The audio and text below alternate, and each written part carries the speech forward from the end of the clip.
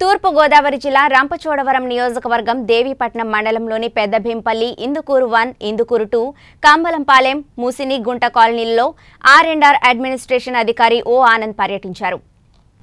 ఈ సందర్భంగా ఆయన మాట్లాడుతూ పోలవరం ప్రాజెక్టు ముంపునకు గురైన గిరిజన లబ్ధిదారులకు అర్హులైన ప్రతి ఒక్కరికి న్యాయం చేస్తామని నిర్వాసిత లబ్ధిదారులకు తెలియజేశారు అదేవిధంగా కాలనీ నిర్వాసితులు విన్నవించుకుంటూ తమకు రోడ్లు డ్రైనేజీలు త్రాగునీరు విద్యుత్ వీధి దీపాలు కొంతమందికి యువతి యువకులకు పద్దెనిమిది సంవత్సరాల ప్యాకేజీలు ఇలా పలు సమస్యలు ఆయనకు వివరించారు. పెద్ద భీంపల్లి కాలనీలో ఎక్కువగా ముసిరిమిల్లి ప్రాజెక్టు నుంచి నిత్యం సాగునీరు వస్తుందని ఆ కాలనీ చుట్టూ డ్రైనేజీ ఏర్పాటు చేసి విష సర్పాలు వంటివి రాకుండా కాంపౌండ్ వాల్ నిర్మించాలని నిర్వాసితులు కోరారు.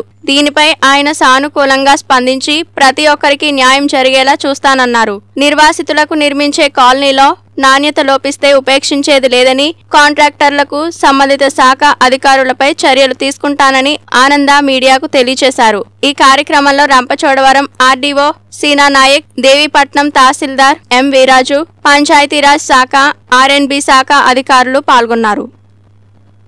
ఎనభై తొమ్మిది కోట్ల రూపాయలకు సంబంధించిన ఆర్ఎన్ఆర్ ప్యాకేజ్ డిస్కస్ చేయడం జరిగింది. సో దీంట్లో తొయ్యేరు దేవిపట్నం గుడిపల్లి దెన్ మడిపల్లి అంకులుడు అలాంటివి కొన్ని అంటే గ్రామాలు మనం పేమెంట్ అగ్రహారం కొన్ని గ్రామాలు ఇవ్వడం జరిగింది. సో దీంట్లో కూడా ఇంకా కొంతమందికి ఏదైనా రాలేని వాళ్ళు ఉంటే ఆల్రెడీ లిస్ట్లో ఉండి రాలేని వాళ్ళు ఉంటే వాళ్ళు వాళ్ళకి సంబంధించిన బ్యాంక్ అకౌంట్ అదన్నీ కూడా concern RNR officer concern tahsildar and విఆర్ఓకి ఇవ్వాలని కోరుతున్నాము. వాళ్ళకి కూడా ఇంకొక పదిహేను రోజులు ఇరవై రోజులు ఆ పేమెంట్ పడినట్టు చూస్తాము.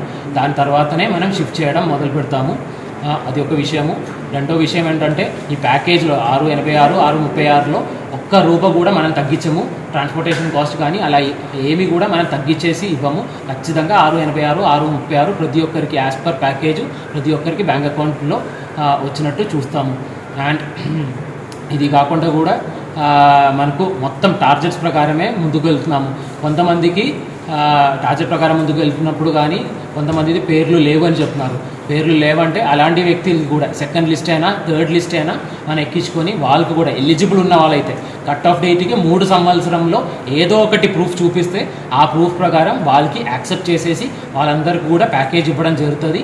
ఆ ప్యాకేజ్ ఈ ఇప్పుడు వచ్చిన వాళ్ళకి ఎంత వచ్చారో ఆ విధంగానే. ఆ ప్యాకేజ్ అమౌంట్ ఉంటుంది ఇల్లు ఉంటుంది మిగిలిన సదుపాయాలు ఆ కాలనీలో ఇచ్చేసి మనం వాళ్ళందరికీ కూడా ఈ విధంగానే R and R package payments అన్నీ ఇవ్వడం జరుగుతాయి.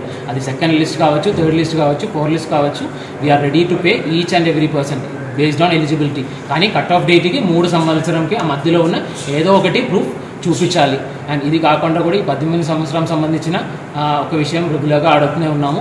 యాజ్ ఆఫ్ నౌ గవర్నమెంట్ దగ్గర నుంచి ఎటువంటి అప్రూవల్ ఇది ఏమీ లేవు. పద్దెనిమిది సంవత్సరంకి కట్ ఆఫ్ డేట్కి ముందు ఎవరికైతే ఉన్నాయో వాళ్ళందరూ కూడా మనం ఇవ్వడం జరుగుతాయి. కానీ కట్ ఆఫ్ డేట్ తర్వాత అడిగారంటే మాత్రము we are not in a position to pay them so that is one issue so ఈ రెండు ఇష్యూలో ఒక్కటేంటంటే ఎక్కడైనా ఎవరైనా ఎలిజిబుల్ ఉంటే ఇప్పుడు కూడా పేరు లేని వాళ్ళకి ఆర్ అండ్ ఆర్ పోలవరం ఒక వెబ్సైట్ మనం పెట్టున్నాము. ఆ వెబ్సైట్లో డైరెక్ట్గా వాళ్ళే ఆన్లైన్లో గ్రీవెన్స్ పెట్టుకోవచ్చు. దానికి తహసీల్దార్ కానీ ఆర్ ఆఫీసర్ సమాధానం చెప్పాల్సిన అవసరం వస్తుంది. వాళ్ళు కూడా వాళ్ళ ఇంట్లోనే ఈ రిప్లై కానీ అదన్నీ డౌన్లోడ్ చేసేసి చూడొచ్చు. సో అందరు కూడా ఏదైనా గ్రీవెన్స్లు ఉంటే ఆర్ అండ్ పోలవరం అనే వెబ్సైట్లోనే నమోదు చేయండి అని కోరుతున్నాము.